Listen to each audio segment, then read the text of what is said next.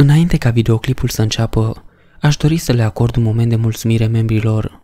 Ștef pe zonă, Roxy FF, Vladislav, DJ Thor, Ionuț Năstase și dincolo de necunoscut. Vă mulțumesc! Ascultare plăcută!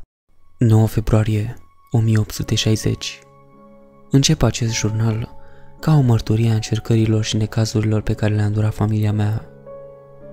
Fie ca Dumnezeu să aibă milă de sufletele noastre, simt că suntem cu adevărat blestemați.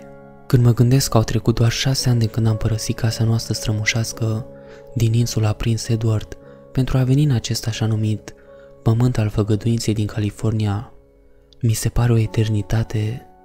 Am devenit văduv, piciorul meu stâng a fost amputat și înlocuit cu o bucată de lemn incomodă, așa că trebuie să șchiopătez și să mă sprijin de o cârjă.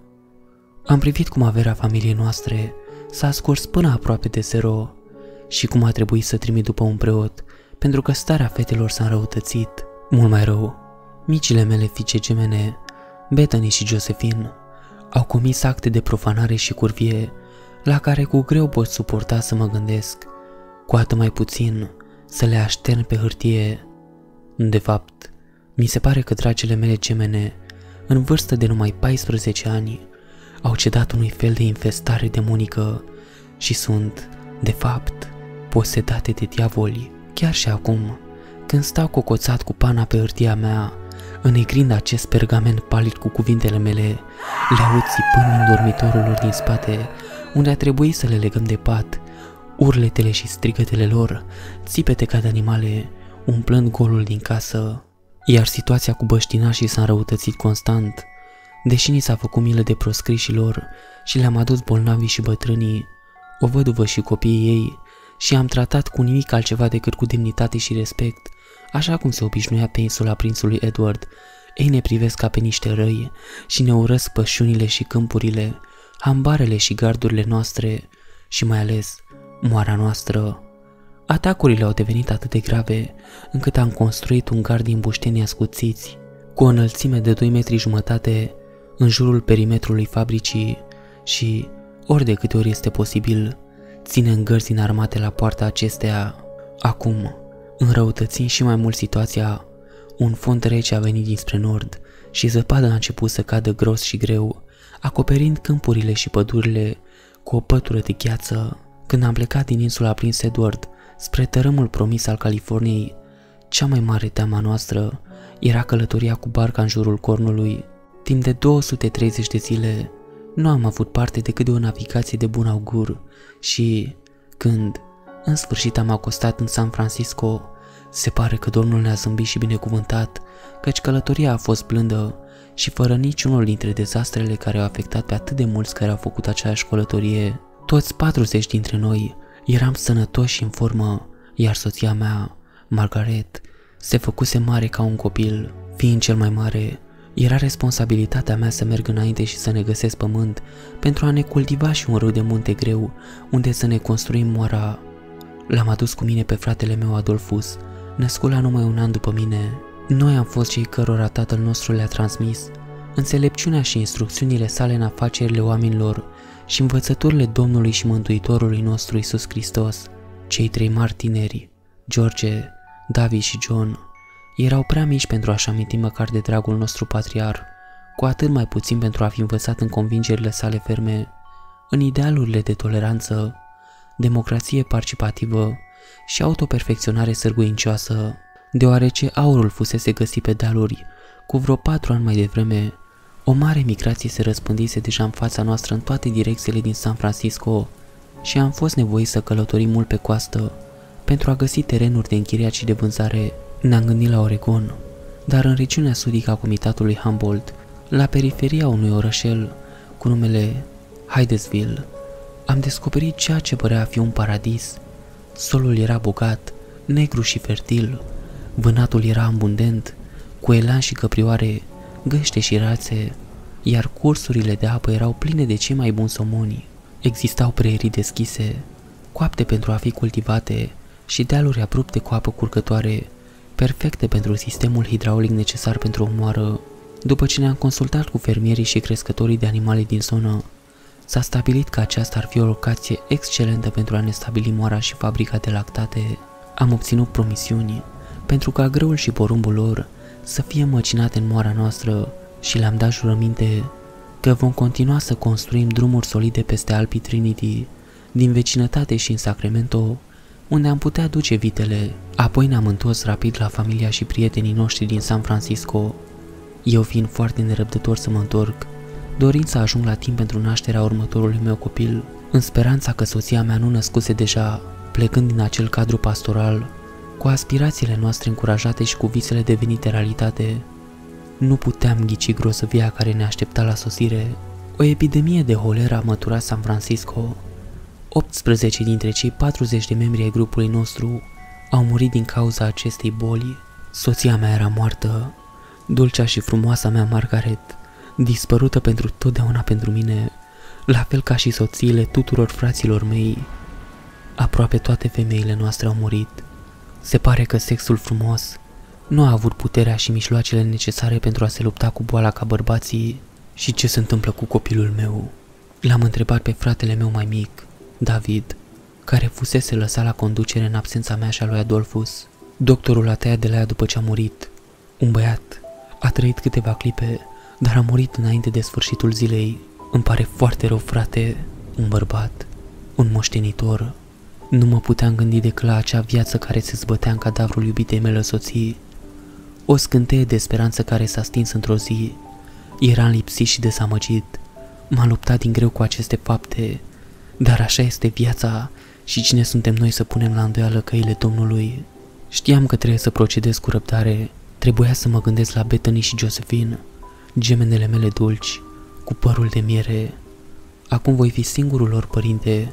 Pentru ele trebuia să las deoparte firea mea lacrimogenă. De asemenea, în calitate de cel mai mare, Trebuia să fac o figură puternică și stoică, ca un exemplu și pentru a arăta respect pentru toți ceilalți din grupul nostru, care pierduseră și ei persoane dragi. Am renunțat la calmul meu docil și m-am grăbit să adun pe compatrioții noștri pentru a călători. Ne-am îndreptat rapid spre nord, nerăbdător să lăsăm în urmă orașul care răpise pe atât de mulți din grupul nostru. Eram acum văduv și aveam de dat socoteală pentru două fete gemene, lăsând în urma mea o soție și un fiu nou născut în pământul rece și învăluit de ceața din San Francisco. Suntem un clan harnic și muncitor și, în câțiva ani, am construit ambare și am înființat o fermă cu 60 de vaci de lapte, 200 de capete de vite și 300 de porci. Am recoltat 1100 de boi de grâu numai în primul an. Lăptăria noastră a fost prima din regiune și am vândut unt la minele din Trinity cu un dolar pe kilogram și am împachetat carne de porc Eureka de 50 de cenți pe kilogram și la periferia așezărilor, la marginea unei păduri dense de secoia, ne-am construit moara. Transportul de marfă pentru utilaje, precum și costul forței de muncă, a fost imens și a luat o mare parte din fondurile noastre, lăsându-ne în cele din urmă cu o parte din averea familiei, pentru că tatăl meu a muncit atât de mult și a luptat atât de mult dar întreprinderile noastre păreau să fie înfiorătoare și aveam mari speranțe că în curând ne vom recupera investiția inițială și vom vedea un profit frumușel. De fapt, curajul și inițiativa noastră au adus în zonă alți coloniști pentru care am măcinat lemnul roșu, pentru hambarele și casele lor și le-am măcinat recoltele în făină și griș. În primii ani am văzut puțin păștinași, iar interacțiunile pe care le-am avut au fost de natură pașnică ne-am împrietenit chiar și cu câțiva pătrâni și infirmi, precum și cu o văduvă cu mai mulți copii, pe care i-am lăsat să locuiască la noi, oferindu-le de post și hrană în schimbul muncii pe care o puteau presta. Nu știam cu avalanșă de coloniști europeni. Înghesuia diversele triburi de pe coastă în ținuturile împădurite, unde era greu de supraviețuit. Se pare că conflictul era inevitabil, deși noi, în ignoranța noastră, nu eram deloc conștienți de el. Problemele au început să apară atunci când Adolfo și cu mine ne-am aventurat peste Alpii Trinității spre Sacramento, unde am putut să ne asigurăm o cireată de vite. Călătoria mea până acolo a fost fără incidente. Totuși, la întoarcere am fost atacați de o bandă feroce de aborigeni. Am fost nevoit să abandonăm vitele la Hayfork al râului Trinity. Am fost împușcat cu o săgeată în coapsă. Aceasta a intrat adânc în mușchi și vârful ei s-a înfipt în femur. Când am întors în sfârșit în așezarea noastră, s-a descoperit că rana devenise septică. Mi-a fost amputat o piciorul stâng. O procedură îngrozitoare, țintuit de frații mei în timp ce doctorul își făcea cu sârdatoria, cu o curea de piele strânsă între dinți, senzația fierăstrăului care însfâșia carnea înainte de a atinge osul, sunetul și vibrația acestuia în timp ce își curea drum prin femur. Niciodată nu mi-am dorit moartea cu atâta ardoare. După aceea, în timp ce zăceam acolo închins și suferință, cu lipitori aplicate pe rană pentru a scoate sângele rău, Adolfus a plecat cu o echipă de oameni să recupereze vitele. Niciunul dintre ei nu s-a întors. Nu aveam să-l mai văd niciodată pe fratele meu drag Adolfus și nici echipele de cercetași nu aveau să găsească vreodată un cadavru pe care îl puteam îngropa și plânge cum se cuvine și căruia să-i oferim o înmormântare creștină. Indienii au fost acuzați, iar eu m-am îndoit de asta, dar știam că nu toate triburile erau nelegiuiți violenți și că multe erau destul de pașnice. Am dorit să se facă dreptate pentru ucigașii fratelui meu, dar nu aș fi învinuit și nu aș fi calumniat toate popoarele indigene în ansamblu pentru această crimă. Apoi au început atacurile asupra fabricii.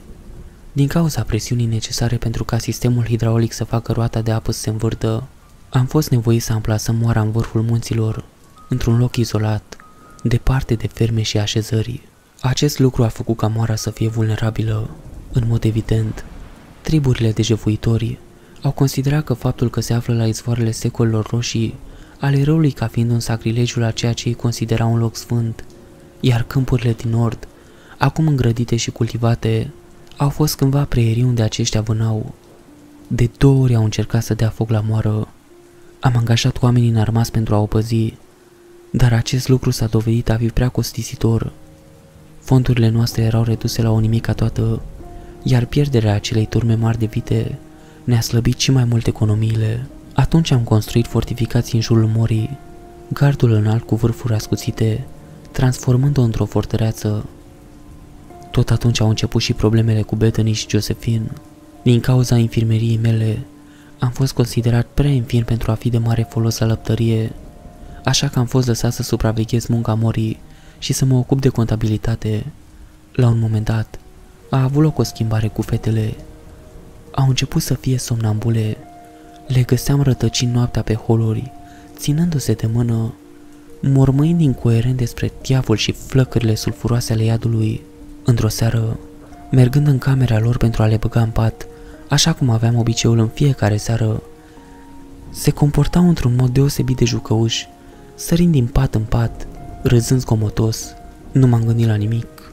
Aveau 14 ani, se apropiau de maturitatea feminină, trupurile lor deveneau mai plinuțe și mai curbate, obrajii lor roz și, bine știam, jocurile prostești erau toată norma pentru fetele de vârsta lor.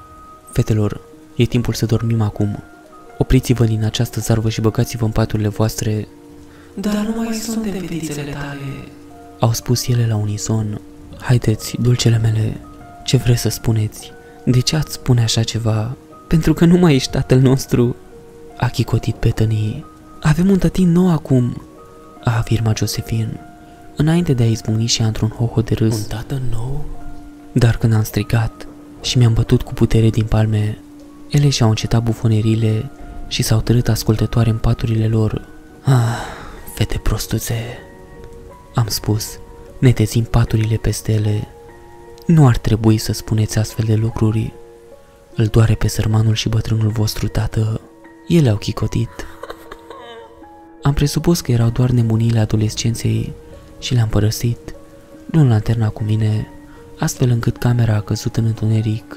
Se schimbaseră atât de mult în ultimii șase ani, trecuseră de la copil la domnișoare și în clipa aceea, șchiopătând pe holul lung, departe de camera lor, cu piciorul meu de lemn, târându-se pe podea, am tânjit atât de tare după margareta mea pierdută, încât am simțit o pognitură în piept și am izmunit în plâns. Nu a fost doar durere și milă de dragul meu, ci dintr-o grijă profundă pentru fetele mele. Cum aș fi putut eu, un bărbat, să le cred să fie niște doamne cinstite în acest sinus sălbatic, fără nicio doamnă rafinată sau de rang, pe o rasă de o sută de mile. Am hotărât că le voi trimite la un internat. Mă voi ocupa de asta și voi găsi un loc potrivit mâine dimineață. În acea noapte, mult după miezul nopții, s-a auzit o agitație în țarcul oilor. Oricine a măcelărit oi, cunoaște sunetul unui miel pe moarte, un geamăt aproape uman. M-a trezit pe mine și pe câțiva muncitori de la moară care dormeau în casă. Luând lanternele și puștile noastre, ne-am aventurat în micul țar din spatele casei pentru a găsi câteva animale sacrificate cu cea mai mare sălbăticiune, una dintre ele cu capul decapitat. Fetele făcuseră asta, le-am descoperit zăcând dezbrăcate în viscerele animalelor viscerate, îmbibate în sânge purpuriu și contorsionându-se în sânge. Ceea ce este și mai rău este că păreau să fi făcut această brutalitate cu mâinile și dinții goi. Cum? Nu știu, dar nu au fost găsite niciodată cuțite. Erau insensibile și bâlbeau prostii, în timp ce eu și câțiva servitori le duceam înapoi în casa noastră. Le-am făcut baie în acea noapte, le-am îmbăiat ca și cum ar fi fost din nou niște copii, le-am așezat în cadă și am turnat apă caldă peste ele, liniștindu-le și curățându-le, spălându-le smocurile de sânge din păr, spunându-le că totul este în regulă, în timp ce ele băzeau liniștite, într-o stare de transă. Necuratul, necuratul. Temându-mă de alte incidente ciudate de somnambulism, am pus un zăvor la ușa exterioară a ușilor și am început să le închid înăuntru noaptea. Atunci s-a dovedit că o boală ciudată s-a abătut asupra lor. Stăteau în pat, transpirau și tremurau. Au început să sângereze din urechi și nas, iar din ochi le curgea o măscă albastră și petulantă. Nu mai arătau ca minunatele mele fiice gemene, pline de feminitate, gata să înflorească așa cum un boboc de trandafir poate să se umfle înainte de a se desface. Au început să ia înfățișarea unor monștri, ochii lor se tăteau adesea pe spate în cap, astfel încât să li se vadă doar albul, strălucind pe inelele întunecate. Buzele lor au cărpat un aspect putred și au devenit negre și strânțuite. A fost chemat un doctor. Acesta nu a putut constata nicio afecțiune. Nu aveau febră și nici glande umflate. Au început să înjure în modul cel mai josnic și blasfemiator și vorbeau în limbi ciudate, ale căror cuvinte nu le cunoșteam. Atunci doctorul și-a dat opinia pentru prima dată că poate era vorba de o boală de ordin supranatural și a recomandat un preot. La început am luat în derâdere acest gând și am fost hotărât să parcurg cu răbdare acest curs ciudat, sperând în fiecare zi la o oarecare îmbunătățire. Nu a fost niciuna. Au refuzat rana și au început să se risipească, să se ofilească, cu ochii înfundați și bântuiți în pielea emaciată, din care începuse să le prezideze craniul. Părul lor frumos și des, ca de caprifoi, a devenit moale și smocurile au început să cadă. Muncitorii din jurul morii au început să se neliniștească și mai mulți au demisionat. Auzeau strigătele fetelor, blasfemiile abominabile pe care le strigau până târziu noapte. Muncitorii rămași au început să mă evite și pe mine, iar când mă duceam să supraveghez măcinarea greului și a lemnului și să verific greutatea și calitatea, o tăcere neliniștitoare se așeza peste moară, punctată de șoapte păzite și priviri furișe. Apoi a venit acea noapte îngrozitoare, chinuitoare, când m-am trezit că nu am avut altă soluție decât să chem un preot. M-am trezit în sunetul unor chicoteli și gemete. Era foarte târziu. M-am strecurat în hol și am constatat că sunetele veneau din dormitorul fetelor. Din spatele ușii auzeam sunete ciudate de subt și râsete de fete. Am descuiat încuietoarea, am deschis ușa și în lumina palidă a lunii am văzut o priveliște absolut detestabilă. Fie ca Dumnezeu să aibă milă de sufletul meu, pentru că am lăsat aceste amintiri murdare să iasă la suprafață din mintea mea și să întunece acest pergament palid, dar fetele mele erau goale și împletite în modul cel mai nepotrivit. Fețele lor erau îngropate între picioare, cu viței înconjurându-le umerii, lingându-se una pe cealaltă.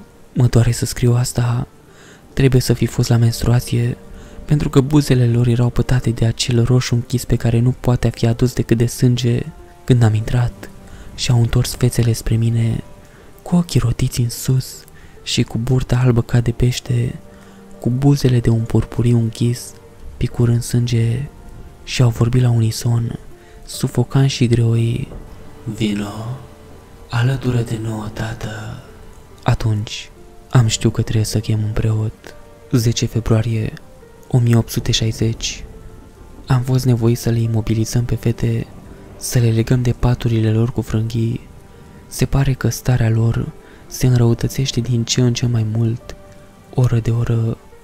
Se prăpădesc, le aduc ciorbă, bulion, ceai, încerc să le bag cu lingura în gură, ele doar își întorc capul în altă parte, scuipă înapoi la mine, mă înjură cu nume murdare, când nu țipă și nu mă înjură, chicotesc ca atunci când erau copii mici, mă simt atât de singur și un gol se odihnește în inima mea. Frații mei sunt departe, la muncă la fermele lor, soția mea este în mormânt, iar muncitorii de aici, de la moară, mă privesc doar cu neîncredere și suspiciune. Singurii care îmi zâmbesc în aceste zile întunecate sunt grupul de băștinași pe care i-am lăsat să intre în incintă. Sunt în număr de opt. Un bătrân grizonat, care nu se mișcă niciodată de lângă foc, trei femei bătrâne și o tânără indiancă pe care presupun că e văduvă și are trei copii, dintre care unul e doar un bebeluș, nu vorbesc engleza și comunicarea cu ei poate fi dificilă, dar îmi zâmbesc și dau din cap. Mormăie cuvinte pe care știu că sunt mulțumiri când le ofer mâncare, văduva Caicoaiș, așa îi se spune, îmi este de mare ajutor. Când o îndrum la vreo treabă, cum ar fi să curețe podeaua din sala de mese sau să frece vasele, îmi percepe rapid pantomimele și îndeplinește cu entuziasm sarcina. Este singura femeie din complex, în afară de fetele mele și de scous, tăcute și bătrâne, iar prezența ei mă liniștește într-un fel pe care nu reușesc să le exprim în cuvinte, dar, în acest moment, acești nobili sălbatici par a fi singurii mei prieteni. 14 februarie 1860 Azi a sosit preotul. A călătorit prin zăpadă până la poarta păzită a morii, în vârful unui armăsar, cu spinarea legănată de un cenușiu de fier. Câțiva muncitori care păzeau fortificațiile de indieni ostili l-au observat imediat și au deschis ușile grele din lemn roșu. A șchiopătat puțin prin zăpadă, luptându-mă ca să nu-mi alunece cârja pe pământul înghețat, pentru a-l saluta când a intrat pe ușă și apoi a descălecat de pe calul său, care își călca copitele pe pământul rece și tare, bufăia o respirație aburindă.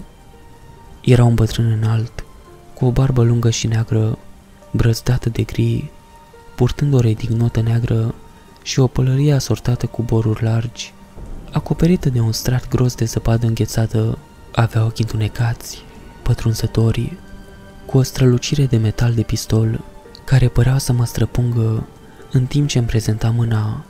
A vorbit clar și cu o voce gravă, Reverendul Michael Waketon, la dispoziția dumneavoastră. Strânsoarea lui era puternică și am simțit că emana o mare tărie de caracter. I-am urat bun venit și l-am condus prin incintă și a condus calul de frâie în timp ce eu șchiopăteam alături de el. Ați avut o călătorie plăcută? L-am întrebat. Fără evenimente, a murmurat el. De-a lungul sitului interior, Caicoais și ceilalți băștinași se înghesuiau în jurul unui mic foc, în timp ce copilul ei cel mic urmărea o găină prin zăpadă. Și de ce le permiteți acestor păcâni sălbatici să intre în zidurile voastre? A întrebat el, privindu-mă cu dispreț. Sunt săraci și au nevoie de îngrijire, așa că le-am oferit adăpost, așa cum ne-a instruit Domnul nostru Hristos în parabola Samaritanului. Isus a venit să aducă diviziunea pe pământ. Luca 12:51 Dar, părinte, nu a spus Domnul și Mântuitorul nostru în Marcu 95, fiți în pace unii cu alții?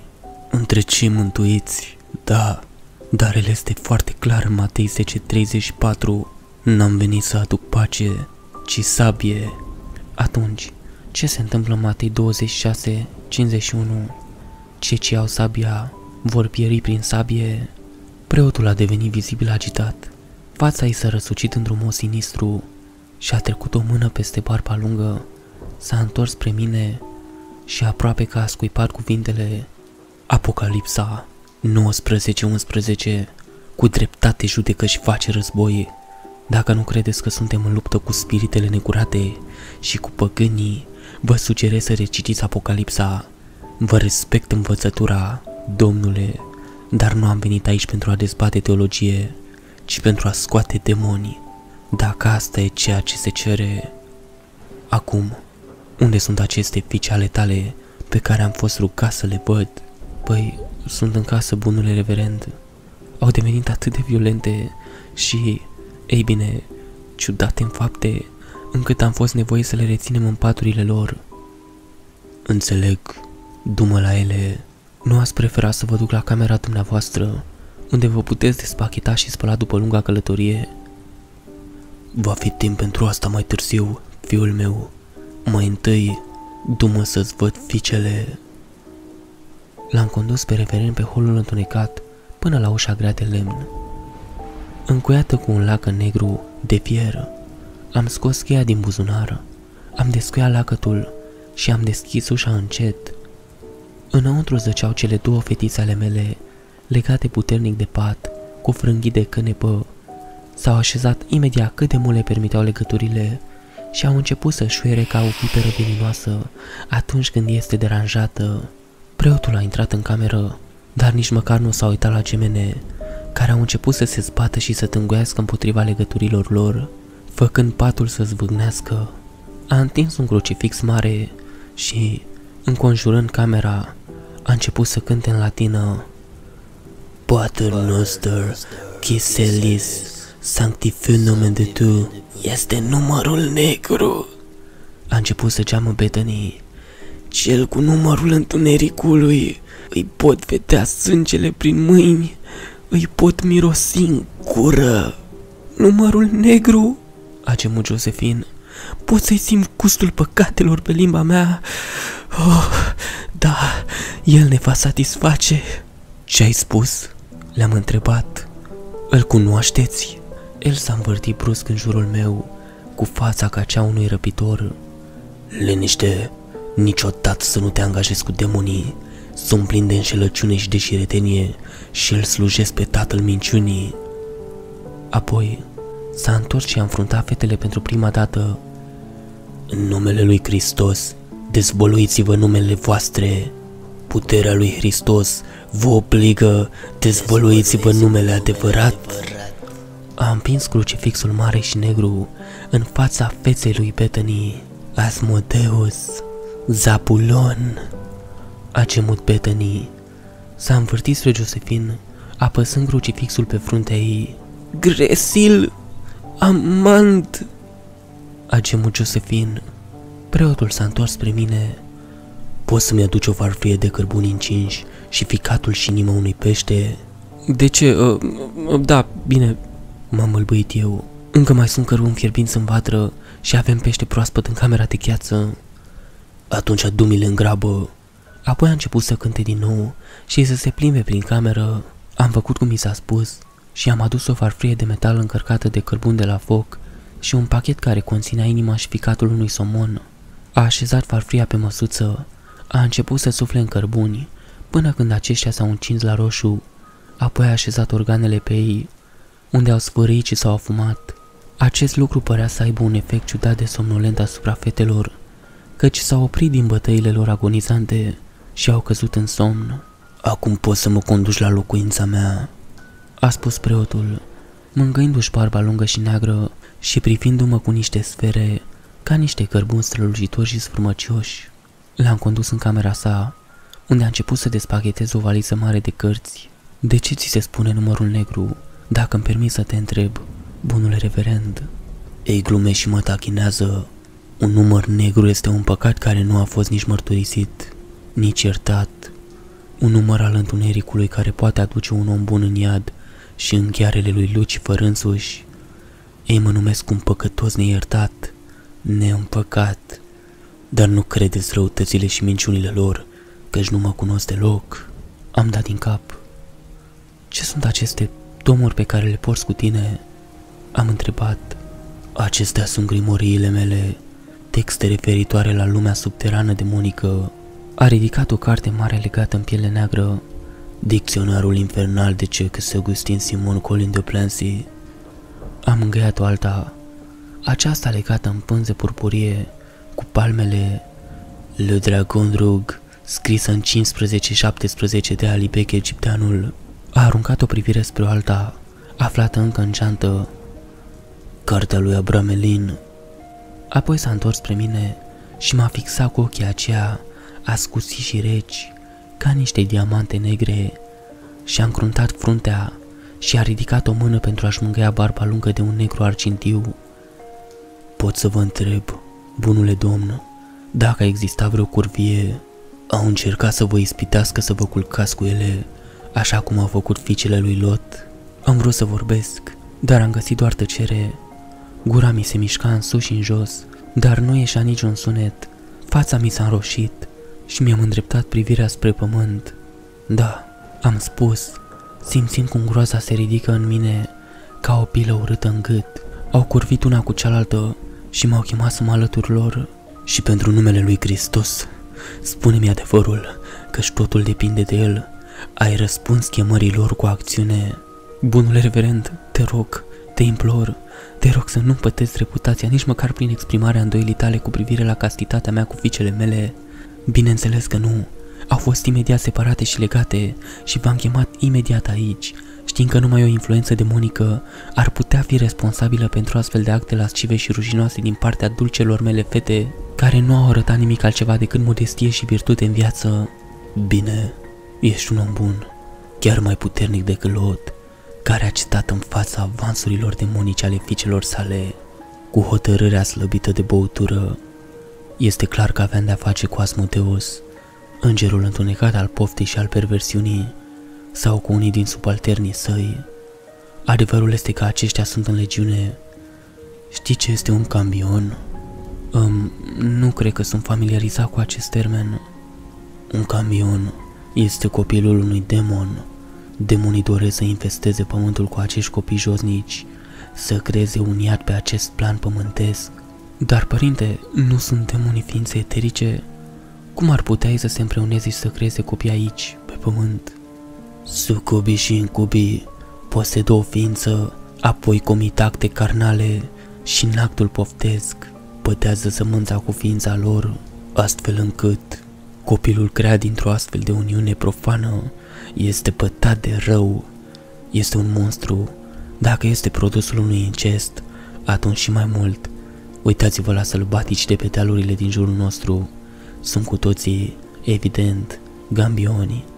Ți se pare că sunt oameni întregi? Am fost șocat de aceste cuvinte. Cum discuția despre demoni se transformase brusc în cea despre băștinaș atât de repede și am răspuns ca atare, da. Am spus, cu repulsie, așa fac și trebuie să recunosc că mă jignești, dragă reverandă. Credeam că un om sfânt ca dumneavoastră nu ar spune astfel de lucruri despre semenii dumneavoastră. Dragul meu, ei nu sunt semenii mei, ei sunt sodomiți, își petrec zilele dezbrăcați, goi și implicați în ritualuri demonice, sunt proști și prostuți, nu au niciun respect pentru dragoste sau virginitate, mănâncă purici, paraziți, păianjeni și viermi, nu au credință în lege sau în Dumnezeu, sunt gabioni pur și simplu, sunt purtători de temuri ca o molimă, sunt infectați cu ei Așa cum un om poate purta păduc sau scabie, sunt infestați cu creaturi ale lumii de dincolo. Nu e clar? De ce? Tatăl meu ne-a învățat să-i tratăm pe toți oamenii ca pe niște egali. În insula Prince Edward, țara din care provenim, indigenii erau protejați cu aceleași drepturi ca și albii. Am încercat să practic aceleași idealuri de toleranță și acceptare și aici. Și uite unde te-a dus! A strigat el. Un infirm Fiicele tale sub stăpânirea demonilor, pământul tău, averea, moștenirea și mijloacele de a trăi în pragul prăbușirii. Cine are o să învețe să vadă? Acum, bunule domn, dacă vrei să mă lași, sunt obosit din cauza călătorilor mele și trebuie să mă odihnesc. Da, părinte, pacea să fie cu tine și cu tine. Am ieșit din cameră, am închis ușa în urma mea, cu vederea notând și gândurile mele amestecate 15 februarie 1860 Preotul s-a încuiat în cameră cu fetele toată ziua. Eu am stat în echilibru în fața ușii grele de lemn, roșu, timp de multe ore lungi, ascultând, străduindu-mă să aflu ce se întâmplă înăuntru. Am auzit multe lucruri îngrozitoare. Le-am auzit pe fetele mele încercând să le ispitească în paturile lor, un limbaj atât de lasciv și de murdar, încât nu îndrăznesc să-l repet. El a răspuns seducțiilor lor cu strigăte către Hristos. Am auzit țipete de groasă care păreau mai mult animale decât oamenii, apoi cântece, apoi o tăcere lungă. Am devenit perplex, îngrijorat pentru gemenele mele, dar și pentru acest om ciudat. Deși preotul m-a avertizat să nu fac asta, mi-am lovit cu degetele de ușă. Părinte? Ușa s-a deschis brusc și acolo era el, privindu-mă cu ochi sălbatici, cu barba neîngrijită și pătate de scuipat. Știu că mi-ai spus să nu te deranjez, doar că uh, am devenit îngrijorat de tăcerea asta lungă. A ridicat o mână pentru a mă liniști. Este în regulă. Fețele tale s-au întors la tine, dar nu știu pentru cât timp. Deocamdată poți să le eliberezi legăturile, dar seara, înainte să adormi, trebuie să le pui din nou. Aceste forțe ale întunericului sunt puternice și îți vor juca peste. M-am uitat peste umărul lui și acolo erau fetițele mele. Fețele lor reveniseră la normal, buzele lor nu mai erau negre, iar ochii lor erau limpezi. Tată! Au strigat. Am alergat la ele și le-am desfăcut legăturile, le-am eliberat și le-am luat în brațe, unde am plâns cu toți împreună. Oh, fetele mele, cât dor mi-a fost de voi, vă iubesc atât de mult. Și noi te iubim, tate. Le era foame, flămânde și pe bună dreptate, cum au rezistat atât de mult timp fără mâncare și apă, rămâne un mister pentru mine. Le-am adus carne și bulion, le-am spus să mănânce încet, ca să nu se îmbolnăvească. A fost o reuniune glorioasă și am stat cu ele până la căderea nopții. Ah, acum trebuie să vă leg. Le-am avertizat, în timp ce am aprins o lanternă împotriva întunericului tot mai mare al serii. Oh, chiar trebuie, tati, mă dor atât de tare încheieturile mâinilor a implorat Bethany, cu ochii de smarald, strălucind de milă. Pur și simplu trebuie, am spus, luând frânghiile și pregătindu-mă să le leg de paturile lor. Ție dor de mama? A întrebat Josephine. Am făcut o pauză. Auzind-o spunând asta, mi-a evocat multe emoții îngropate și am respirat adânc pentru a mă liniști. Ah, bineînțeles că da. Trebuie să fie atât de greu pentru tine, singur, da, draga mea, este, dar te am pe tine. Da, mai, ne ai pe noi. Sper că te putem consola așa cum a făcut mama, să-ți dăm ceea ce ți-a dat ea, să-ți oferim plăcerea pe care ți-a oferit-o ea. Îngrozit, am observat că fetele începuseră să-și lingă busele, în timp ce vorbeau să-și mângâie sânii, ridicându-și cămășile de noapte peste picioare. M-am clătinat înapoi. Fetelor, Purtați-vă frumos imediat, am ordonat. Vino să te culci cu noi. Putem să vă ceea ce v-a dat mama cândva. Reverendul a intrat brusc în cameră, urlând. Puterea lui Dumnezeu vă obligă jos demon murdari. S-a întors spre mine. Repede, leagă-le! Și uite așa au căpătat din nou formele lor monstruoase, cu fețele palide și ochii deveniți albi. Am luat o frânghie și am înfășurat-o în jurul încheieturii lui Bethany. Ea aș era la mine ca o pisică încolțită, în timp ce mă duceam să o apuc de cealaltă încheietură. Ea a întins mâna, îndoită în gheare, și mi-a trecut-o peste față, unghiile ei simțate ca niște gheare, sfârșindu-mi dureros ochiul stâng. Josephine s-a ridicat de pe pat, cu mâinile strânse pe câtul reverendului. Pentru o clipă m-am temut pentru el, până când el a luat o detalie și a aruncat-o în pat. Țin-o pe asta pe jos până când termin de legat pe cealaltă.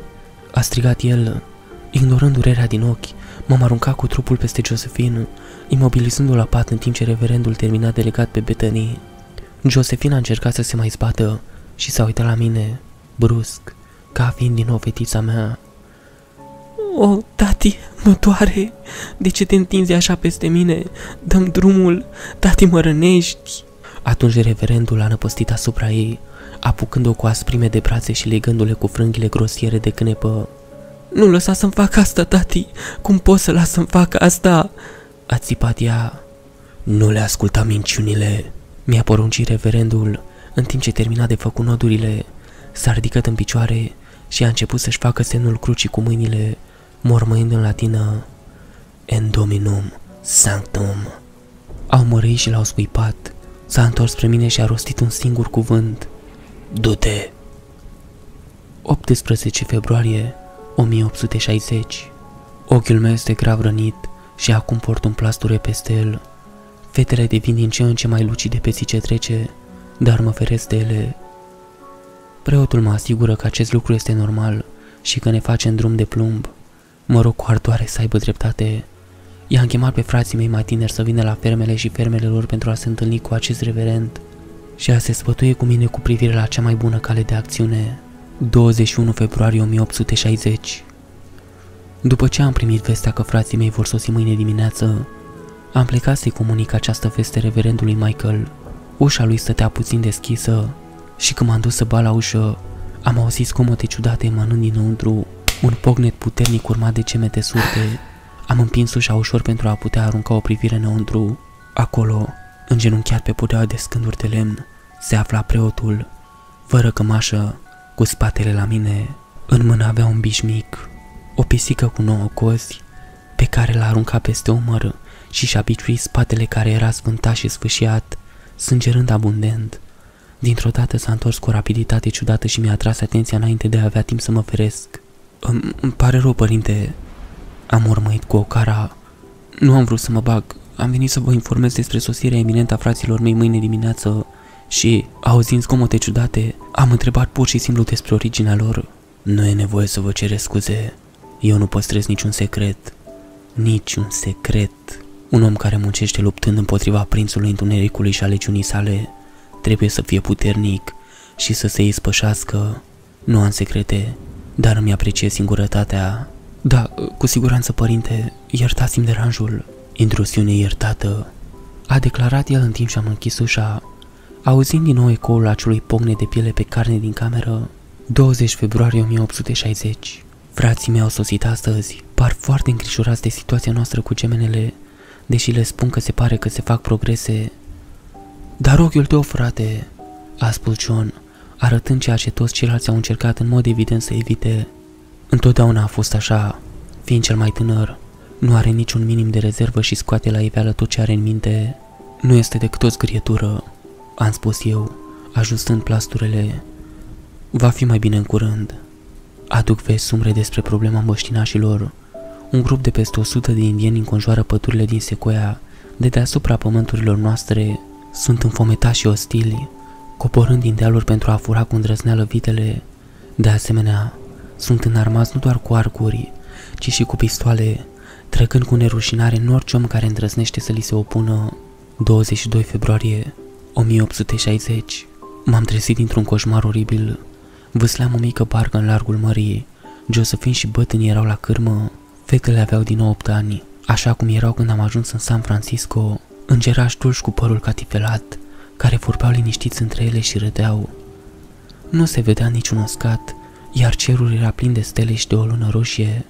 M-am uitat în apă și acesta reflecta acel roșu intens al lunii, dar apoi am văzut că nu reflexia lunii făcea ca marea să fie roșie, ci că marea era plină de sânge și uitându-mă în depărtare, am văzut un corp care se zbătea, se zbătea, se neca în sânge.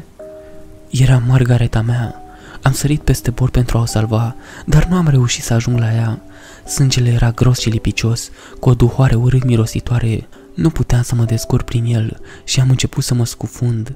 Mă simțeam ca în nisipuri mișcătoare și nu Margaret se zbătea acolo, ci văduva indiană Caicoaiș și copiii ei, precum și bătrânul și cele două scoau bătrâne. Plângeau acel urle specific poporului lor. M-am întors spre parcă, sperând să mă pot ține de mână, doar ca să le văd pe fete stând acolo, în fața mea, în picioare și râzând, codăcin diavolesc, și erau acum niște moștri de coșmar, cu pielea putredă, cu ochii albi și limpezi ca gheața. M-am trezit brusc cu o tresărire, așezându-mă în pat, gâfâind. Pentru o clipă am crezut că încă mai auzi petele indienilor, apoi nimic, Tăcere. M-am încordat să aud ce sunete s-ar putea ascunde deasupra scârțâiturilor grinzilor de lemn. Nimic. Apoi șoapte dinspre dormitorul fetelor, urmate de hohote de râs și hohote de râs. În această dimineață, când am ieșit din curtea complexului, era sânge în zăpadă, erau bălți mari și urme de strope pereți, pete de oase și creier și urme de târâre prin zăpadă, șanțuri atât de adânci încât scriau pământul și scoțeau la suprafață grămezi de noroi. Erau, de asemenea, urme de pași de mulți oameni. Toți băștinașii pe care am lăsat să intre în siturile fortăreții noastre au dispărut. Caicoaiși, copiii ei, bătrânul și femeile au dispărut. Fără îndoială că au fost omorâți în bătaie, nu s-au folosit arme de foc pentru a nu trezi pe nimeni și a nu atrage atenția asupra măcelului. L-am găsit pe preot și pe frații mei mâncând în sala de mese. Ce ai făcut? Am întrebat, șchiopătând până la masa mare unde stăteau la farfria purind de cuă și carne de oaie. I-ați omorât pe toți, nu-i așa? Mi-au răspuns doar cu tăcere și priviri de gheață. Cum ați putut? Erau bătrâni, infirmi, copii și femei. Preotul mi-a atras privirea cu o privire răutăcioasă. Era o adevărată ciumă, un flagel și trebuiau exterminați. Lași criminal ce ești, ieși afară! Am strigat, aplecându-mă cu fața pe cârjă, astfel încât fețele noastre să fie la câțiva centimetri distanță, privindu-l cu singurul meu ochi bun. Pleacă de pe pământul meu! Am mărâit. George s-a ridicat în picioare. Nu este pământul tău, William. Suntem o afacere de familie și nu ai dreptul să-i poruncești să plece. Are dreptate, a intervenit David. Noi luăm decizii ca o familie. Luați decizii ca o familie? Am întrebat eu. Atunci de ce nu am fost informat de decizia de a ucide pe umilii noștri oaspeți de aseară? Știam cum vei acționa. Îți cunoșteam deja părerea. Ați fost votat în afara votului. Supus la vot? Nici măcar nu am fost prezent să votez în această chestiune. Prezența ta nu era necesară, pentru că decizia noastră a fost unanimă între noi, a declarat John. Nu ți-e foame de dreptate pentru fratele nostru pierdut, Adolfus? A întrebat David. Ce legătură are moartea lui Adolfus cu uciderea unei văduve și a copiilor ei? Ei bine, atunci ce se întâmplă cu fetele tale? A opinia Brut George. Frumoasele mele nepoțele, oare trebuie să le lăsăm în chinuri, să nu încercăm să le salvăm și acum îndrăznesc să-l dai afară pe singurul om care le poate ajuta, care le poate salva? Deuteronomul 18 cu 10 să nu găsească printre voi pe nimeni care să practice ghicitul. Preotul s-a uitat fix la mine. Încet, a ridicat o ceașcă aburindă la buze, a sorbit cafeaua, apoi a răspuns calm. Adevărat îți spun, ai grijă pe unde calci și nu răspândi calomnii. Ceea ce am făcut, am făcut-o de dragul tău și al fiicelor tale. Suntem în război cu diavolul și trebuie să înveți să accepti asta. Nu puneți voi faptele voastre murdare pe seama mea. Am scuipat și m-am învârtit în căje, îndepărtându-mă furtunos de ei. Formăm o miliție, William, a strigat George în spatele meu. Când am deschis ușa și un vânt rece a suflat în sală, trebuie făcut ceva în legătură cu această situație. Suntem noi sau ei? Trebuie să accepti acest lucru. Noi am răspuns și am ieșit în zăpadă și furtună. Cerul de deasupra mea fiind la fel de gri și de lugubru ca durerea din coastele mele. 26 februarie 1860 Tărându-mă prin zăpada adâncă care se așternuse greu pe curte, l-am sărit pe fratele meu George cu un grup de muncitori și am șchiopătat cu fermitate spre el, îndepărtându-l pe ascuns ca să putem șopti între noi un secret. Nu am încredere în acest preot. Nu mi se pare un om al lui Dumnezeu. Și de ce anume, William, se închide în casă cu fiicele mele Face acte ciudate pe care nu le permite nimănui să le vadă, dar tu însuți ai spus că ai văzut îmbunătățiri în starea lor. Poate, poate că infirmitatea lor pleacă de la bunăvoie. Îi spun, numărul negru, spun că îi simt mirosul de sânge pe respirație și pe mâini. Oare ce cu asta? Bunule frate, bătrânul meu, nu trebuie să asculți cuvintele și minciunile pestiei. Reverendul este un om bun. Știu, mult timp am vorbit în noapte, nu suntem atât de diferiți. A fost cândva un colonist, la fel ca și noi. A avut o familie și o fermă mare. A plecat la o alergare de vitești când s-a întors acasă. A descoperit că ferma sa a fost jefuită de un grup de indieni. Soția și copiii lui Au fost tăiați cu toporul în bucăți mici, mutilați până la nerecunoaștere. Știa că numai diavolii pot face asta, demoni, așa că s-a predat lucrării lui Dumnezeu. Lucrarea lui Dumnezeu? Uciderea băștinașilor? Dacă crimele lor îi fac demoni, atunci, spuneți-mi vă rog, ce ne fac pe noi? Cum îi putem condamna pentru acte de violență că noi ne străduim să-i anihilăm cu ale noastre? Frate, tu ți îmbrățișezi natura mai slabă. Am treburi de care trebuie să mă ocup. Mâine dimineață va avea loc o întâlnire. Toți fermierii și crescătorii de animale de pe o rază de kilometri în jur vor fi prezenți acolo. Poți să-ți exprim îngrijorările acolo. S-a plimbat înapoi la muncitori și m-a lăsat singur în săpată.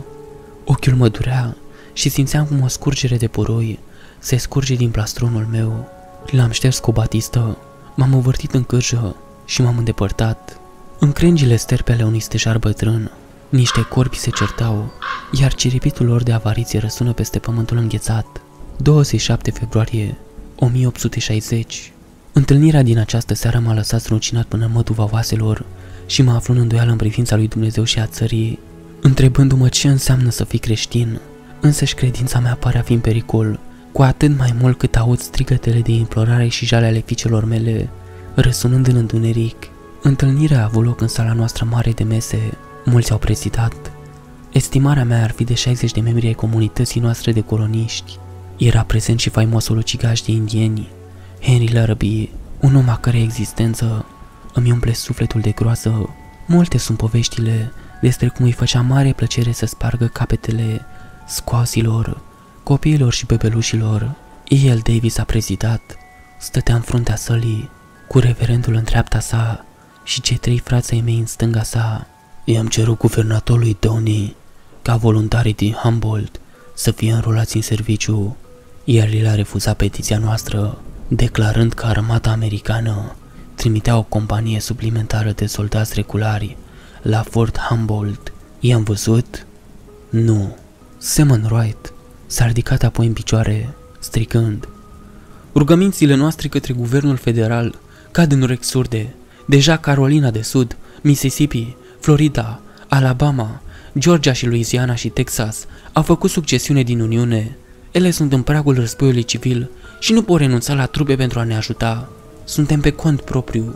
Un mare strigă de acord cu urale s-a ridicat și a răsunat în toată sala. Davis a început să vorbească din nou. Această companie este necesară pentru viețile și bunurile familiei și prietenilor noștri. Dacă nu putem obține protecția noastră justă din partea guvernului de stat sau federal, o protecție la care cetățenii au dreptul, eu nu mă opun plății oricărei alte taxe. Ne vom duce propriile noastre bătălii în felul nostru, exterminându-i pe indieni de pe fața pământului în ceea ce privește acest județ. Strigătul său a fost întâmpinat cu strigăte scumotoase de aprobare și o bătaie de picioare și pumni. Eu, aflat în fundul sălii, nu mi-am mai putut ține tăcerea și am vorbit peste vacarmul de scomod. Sunt eu singurul dintre voi care vă imploră pacea cu băștinașii. Nimic bun nu poate ieși din vărsarea de sânge.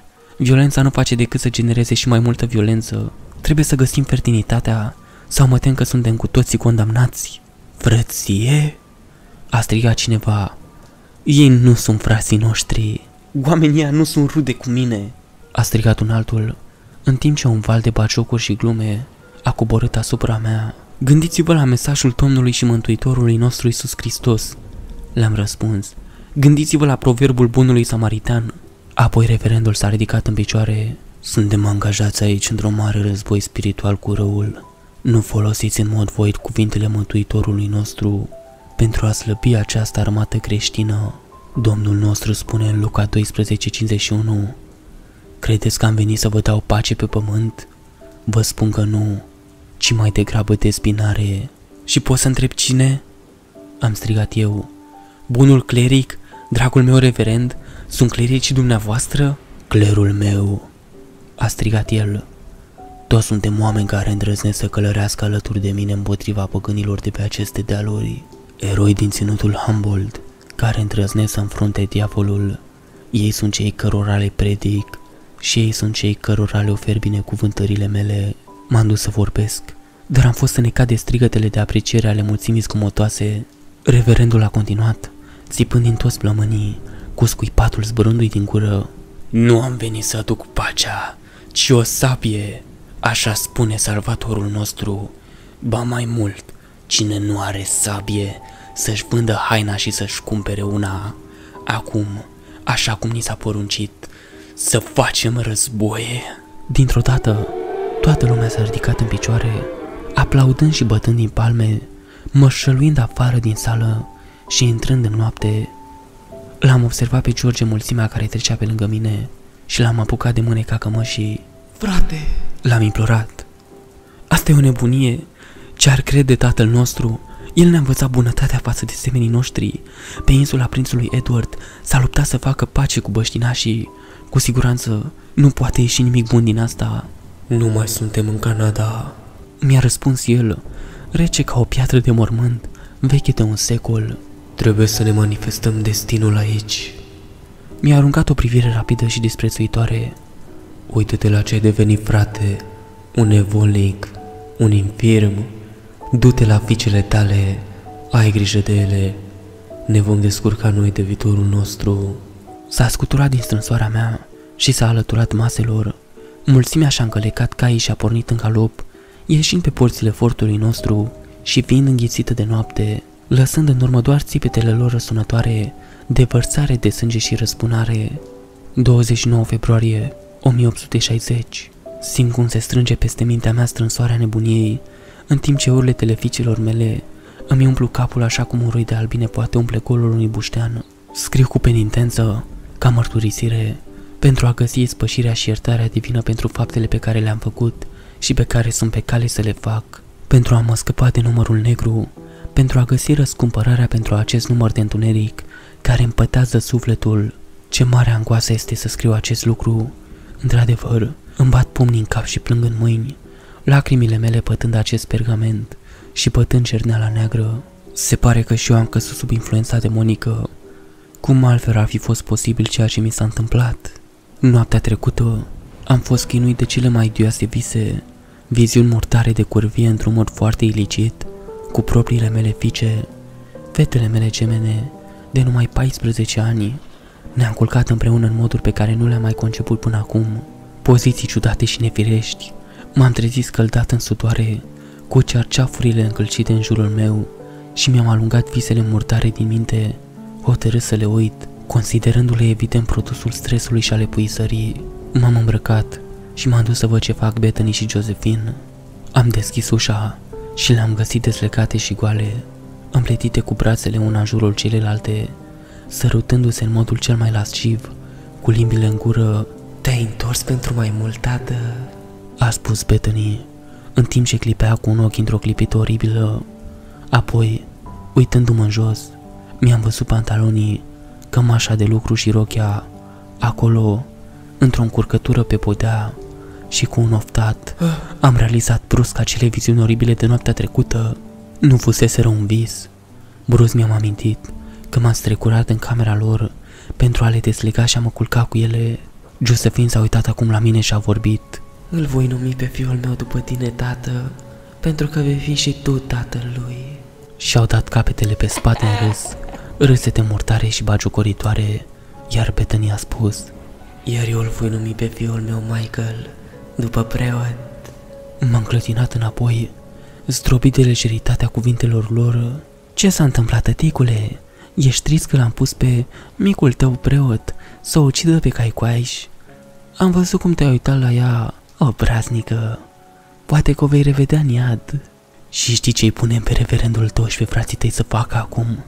Să spargă capetele unor copii pe o insulă din golf? Au izbucnit din nou un râs, apoi au sărit în picioare, într-un mod cât se poate de nefiresc, levitând, plutind de pe pământ în timp ce se îndreptau spre mine, cu degetele încuvoiate, ca niște ghiare și prădătorii.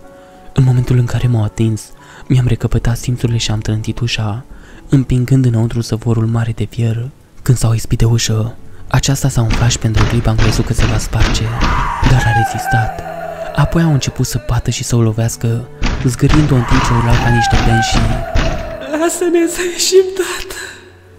Lasă-ne să te mulțumim ca seară! Și acum, în timp ce stau și scriu, cu mâna tremurândă, astfel încât abia poate scrie aceste cuvinte pe pagină, Sper doar să pot șterge numărul meu negru cu aceste mărturisiri, care și-a găsit cumva drumul pe umerii mei slabi, incapabil să-l suporte. Văzând o singură soluție la această situație abominabilă, mă duc să aduc terebentină, grăsime de balenă, un soare de unelte, orice lucru inflamabil pe care îl pot găsi și să acopăr casa cu ele, să mă acopăr cu ea și sper ca flăcrile acestui pământ îl pot potoli pe Domnul și Mântuitorul nostru și mă pot scuti de flăcările sulfuroase ale focului iadului de jos.